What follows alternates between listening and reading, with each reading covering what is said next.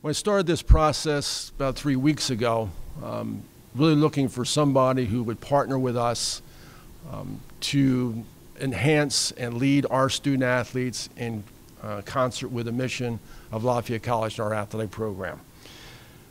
Anytime an athletic director does that, you kind of go down a couple different tracks. One track is going with uh, the experience, someone who's done this before and done it so successfully. Another track is with those um, people who have outstanding experiences as assistant coaches and are looking for that first opportunity to, to take their, their own team and do that.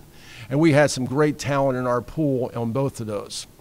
Um, but it was clear to me after some conversations uh, with others, and frankly, I was asking Theresa early on this process if she would help me.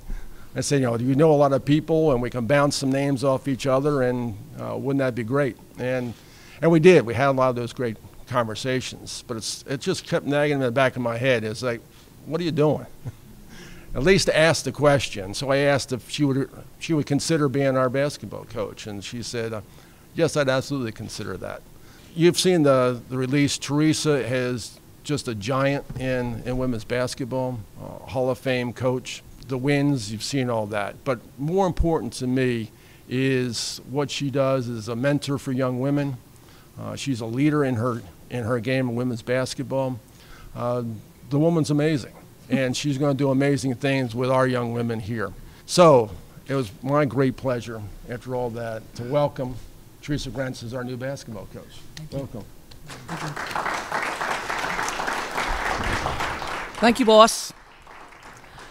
It is. It's uh, an absolute pleasure and delight that uh, uh, I have this opportunity, and I would like to thank uh, President Byerly, Dr. Bruce, Katie McKittrick, and uh, Annette DiOrio, who really spent a lot of time answering questions and being involved and really giving me the pulse of what Lafayette is all about.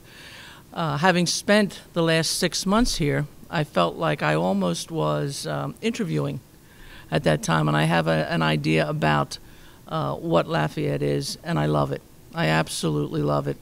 And if I were a parent and knew that I had a, a, son or a daughter and they had the opportunity to receive a Lafayette education and be able to be involved in sports and compete and become the best version of yourself, what a great opportunity. So I look forward to the challenges of recruiting. Um, I look forward to working with my staff. I look forward to working with these young women. Uh, but we will get it done here. We will get it done on the academic side, and we will get it done on the athletic side. Coach Grentz, congratulations. Dan, thank um, you. Can you tell us a little bit? You mentioned being on board for the last six months and then probably knowing a lot about the Patriot League before that and a little bit about Lafayette College. What are some of the advantages that you take with you into the head coaching spot? Well, the, the good part is you know the team, you know the, the support staff, you know people. Um, so that's that's done. So I don't have to go through that initiation period. That's done, and we can jump right in and go to work. Both feet go to work. We're going this weekend. We're going recruiting, and uh, we're going recruiting. We're coming back with some some players. Coach, from a, a, sheer basketball standpoint, what, what types of things makes you excited to coach the players that you'll be uh, you know that are coming back next year? Well, the first thing we're going to do is work on these next five months. We're going to work on May, June, July, August, September. We're going to work on building our bodies, getting strong, being in the weight room, being the best versions of ourselves on the basketball court, really with the skills. Um, and that's first. And then being able to come out and say, okay, now let's challenge ourselves. Let's see how good we can be. I believe in uh, simplicity. I believe in putting the ball in the best player's hands. I believe in playing defense, and I believe in being prepared. Uh, as I've said many times, my teams will never lose. The other team may score more points than us, but we will never lose.